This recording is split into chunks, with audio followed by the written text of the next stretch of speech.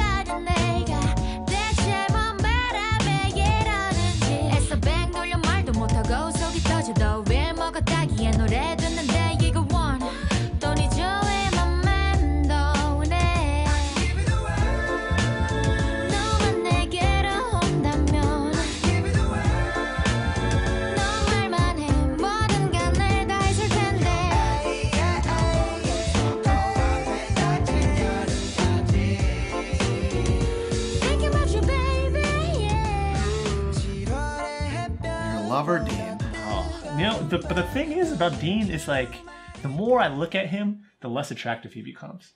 Like I used to, I used to think Yeah. he was, I used to think he was so like so attractive, but like so I think many I got in your head, man. But no, not just you. So many Oh. people have, so many people I've talked to that I've like been talking about. Why, Dean. why are you just talking about how good looking Dean is? No, no, no, Like, I've- I've been- multiple people? I mean, I've been promoting a podcast to people, and That's a um, lie. That's like two that's people. not true. At least it's better than none. You're right. Yeah. Uh, None of my friends give a shit about K-pop. And I was talking about Dean, and then everybody, uh, foreign, I talked to some like non-Korean people and Korean people, and all of them were just like, "Yeah, I guess he's handsome." Everybody kind of has their own taste, and I was like, "What? Is it just me?" And so I think it's just me. I mean, he's definitely a handsome dude. He's just not. Yeah. He wasn't like the god of handsome face that you like definitely not. perpetuated when you first saw him. Yeah, Uh, but anyway, speaking of good looking Dean, yeah, uh, now he uh, this is technically an Heize song, yeah.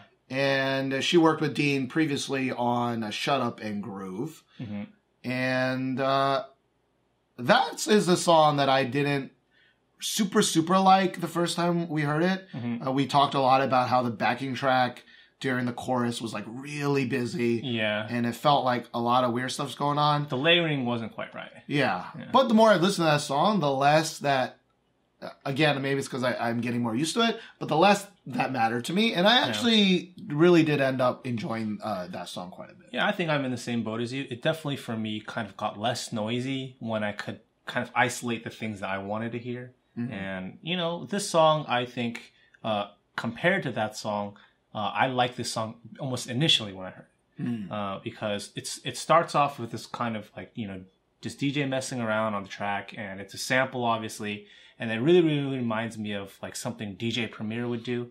I'm not sure if you guys are familiar with him, but he's a very famous American DJ. Uh, you know, he's part of Gang Starr. If you don't know who they are, but if you do know DJ Premier, when I mention him, you'll go, "Oh yeah, definitely his style." Yeah, but oh, yeah, yeah. DJ but there was a my boy. DJ who did work on this song. His name was DJ Friz. Uh, I think he did some stuff with like Dynamic Duo also. Like Dynamic Duo kind of has that sound as well. But for me, I think this is a perfect kind of R&B hip hop duet. And it's so much better that there's a guy and a girl rather than just two guys or, you know, one singer and one rapper. Um, because, you know, Heize does rap in this, but she does, uh, I think, more singing than rapping. Um, Yeah, I mean, she raps a tiny. It's like ninety percent singing. Yeah. um, by Heize. Yeah, and I and I really like that because uh, there's a lot of back and forth between like Dean and Heize, and I think that's it really really works well with a duet. Mm. And so this is kind of like really like a head bumper, and but you're not a real big fan of the Heize rapping, right? Yeah, I mean, I don't, I don't. Luckily, it's very short. yeah, Um, but I just, I think we mentioned the last time we talked about Heize, which was that as a rapper, she was like n- nothing. She was like nothing special. You know, she was an unpretty rap star too. She had a couple of songs after that or featuring with other people, and she was like, eh. Um, and we talked about how there weren't many female R&B singers, and, and I think Heize is much, much, much better uh, as a singer, Singer. Um, especially uh, paired up with Dean. yeah. I think they work very well together. Um, I don't like the song as much as "Shut Up and Groove," but again, as is the theme with a lot of these kind of sevens and six songs to me, is like, uh, I, I think I need to hear them more, and if I hear them more, sometimes they get better, sometimes they get worse. Yeah. Because Um, sometimes a six or a seven can turn into like an eight, even a nine, Yeah. right? And sometimes you will hear a song and it'll be like an eight and nine for you, and then it'll drop to a six or seven. So yeah. Like I think a good kind of comparison is that you really like I mean I like them too, but you definitely like the more like R and B I really do. that that is less poppy. Mm. Um so there sometimes there's some like uh, crush songs or T especially Mhm. where I it's just I like catchiness and I like more poppy stuff and so I think that's why I like Shut Up and Groove more because Shut Up and Groove more is much more I think mainstreamy. Yeah. Um Especially since like this song, it, it does have a DJ and kind of a more hip hop backing track with like you know a drum kit and you know turntables and things like that. And Shut Up and Groove was more of kind of I wouldn't say orchestral, but there definitely were less hip hop elements in it and more kind of pop stylings. Yeah. Yeah. Yeah. And that's I think that's another reason why like you know, I, I really think Dean has a great voice, but I'm not so hype on like his Mhm. solo stuff as much as you. Mm. Uh, because uh, it's just not, you know. You know, you know I like me some catchy, catchy choruses. So- Dean's not really that dude. So Dean has come out with a few duets, obviously two with Heize and one with Taeyeon. Like compared, I don't call the one with Taeyeon a duet. But uh, in reference to those and his solo stuff, you like his duets more, or do you like his solo stuff more? Which one was? Oh, it was Starlight. Yeah. That one is more of a duet. I was Yeah. sorry, I was thinking uh, Crush, Crush and Oh, Taeyeon, yeah. and I was like, that ain't a duet. Okay. Um, which one do I like more? Yeah. If you, if you had to batch the, the duets together and the solo stuff together, because you know you and I we talk about how some some singers we really really like them more as featuring artists rather than solo singers. Uh, Yeah, like a good example would be like Ailee. I think we like Ailee as a Mhm. as more as a kind of featured singer rather than a solo artist. the thing with Ailee though, it's it. I think at one point that was true. Yeah. Um, but nowadays I think of Ailee more as a solo artist. Mm. Um, but not any of her new stuff, kind of like the Mm. the, the Older original kind of stuff. Yeah. Because she hasn't even really been featured in a lot of stuff. Yeah. She used to be featured in like a lot of like R and B ish type tracks, like that Pro C Uh. song, but that doesn't happen anymore. I don't even know where Ailee has been. Yeah. I hope she released something new. Anyways, back to the Um, original question. Back to the original. So solo artist or featuring artist? I think I would, in theory, like Dean more as uh, like a duet. Mm. Um, but so far, the duets that have happened haven't been like knocking out of the park for me Mm. personally. Alright. I actually think my favorite Dean song is his first one, which I can't even remember the name of his first one. Dean song "Pour Up." Pour Up. Yeah. Yes, I think that's actually my favorite Dean song. I ha- honestly I haven't listened to it in a while, but I remember at the time, like I was m- way more hype about that song than any of his other releases. And you know what's funny? When we, I think when we first heard that song, you liked that song more than me. I did. Yeah. Yes. Yes. Um, May- interesting. Hmm. Maybe I need to listen to that song again. I, Yeah. I don't know. Yeah. Um, Well, let's. I guess let's talk about the music video. So the music video uh, is this kind of like Mr. and Mrs. Jonesy. Uh, there's this couple who love each other, but they really, really hate each other. So they're kind of doing all these really petty and passive aggressive things. You know, like pouring salt into each other's cereal, spitting in their coffee, uh, like you know, using a toothbrush to kind of wash their shoes, things like that. right. Hash, hashtag relationship. Yeah, goals. hashtag relation, hashtag goals. Yeah. Right. Um, but I, I think it's really kind of funny. Uh, Yeah. It's a really good video. Uh, you should check it out. There's a lot of kind of good use of props and I think colors. But the shocking twist that we found at the end of the music video is that this was produced by none other than Digipedi.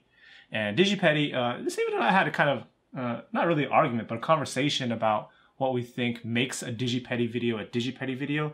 But needless to say, when we saw this, it did not scream Digipedi to us. Yes. Yeah. To be clear, uh, Digipedi, they're not producers. They're, Oh, they're music they're video directors. Directors, we'll say. Um, yeah. I, I- just say that because maybe you don't know what Digipedi is, but Mm-hmm. they direct music videos. Um, they have nothing to do with the uh, Music production yeah, of, yeah, the, of the song.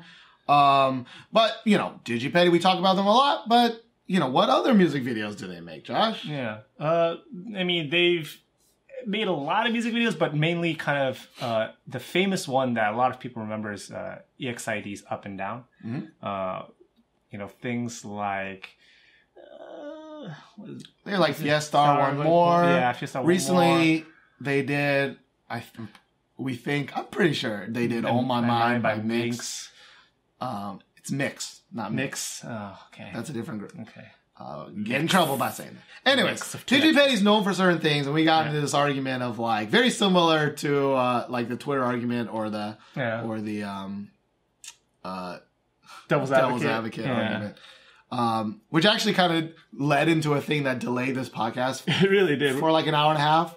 we started um, filming at like 1.30 in the morning. Oh, Yeah, I even had coffee, but I can definitely feel it kind of Yeah. running out um, as I'm speaking right now. Professionalism on our podcast. We as are always. always professional. Um, but to me, like it, this was really like uh, the next step evolution of Digipedi Mm. because there are small amounts of things that like are like okay, I can I can sort of maybe see uh that this is Digipedi, Mm-hmm. but it really felt like they were doing a totally different thing. Yeah. It's like when when Brave Sound produces for dudes, and it's like a totally different sound than what everyone kind of expects from Brave Sound, Mhm. uh, uh, because they're primarily known for the, their Groger stuff. This was like n- not super simplistic Mhm. like sets, not bright ass colors, Mhm. not super pastel uh, uh, uh, things. This was like it. Half of it really felt like like a troublemaker video. A little bit, yeah.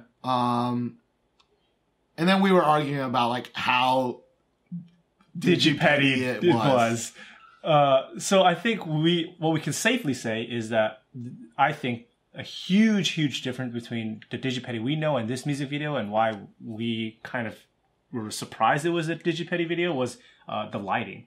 Yeah, Because Digipedi videos are normally very, very, very bright, yeah, and this video was very, very, very kind of grungy. There's kind of a filter involved, and you know, Like, he didn't seem out of character from Dean solo videos, Mm-hmm. um, like the Half Moon and, Yeah. and and the other one. Yeah. Um, but it was Digipedi, and we're like, holy shit, this blew my. Like, I know for most people they wouldn't even care, Yeah. but like, it really blew my mind. Um, yeah for guys who watch like tons of you know k-pop music videos it was Yeah. and we know like a producer or a you know video director has a certain style and all of a sudden they just are doing something really really really interesting But but I think uh, the best part, the thing that does make this Digipedi Mm. is that while this is very similar to like the Troublemaker videos, the Troublemaker videos are just the generic K-pop video where it's like half a photo shoot. It. Kind of doesn't like really. There's no real story, Mm. right?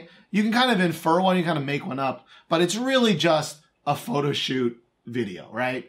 Um, but this one has that kind of digipedi flavor where there's like there's this weird amount of character in what otherwise there is no character Yeah. in, in music video. yeah because this could have been a very bland music video just Yeah. like a guy and a girl but Just posing, Yeah. looking angry, Yeah. look, but it's not. It's like they're having fun with each other. There, there- there's a lot of uh, things that they do in the music video of fucking with each other. Mhm. Like it, that part is really like, oh, okay, like I, I can totally see, uh, and and that's what made this music video much much much better than I think Yeah. like Shut Up and Groove and Yeah. even Dean's solo Yeah. stuff. It was fun. yeah Um, like when I found out that it was Digipedi and I went back and watched it and I like tried to look at for like Digipedi kind of marks. yeah, Um, it it did really show up to me in certain scenes where there was like a really big contrast in color. Mm. And Digipedi, I think really likes doing that, especially with like the characters versus the backdrop. Mm-hmm. Like the character itself will be like one kind of solid color and the backdrop will be another. Mm. And but this video is kind of different because there are two kind of characters. There's Dean and Heize, but I felt like Dean kind of had a certain blue color to him, and Heize kind of had this like pink, maroonish color to her, and it really kind of showed in the music video for me.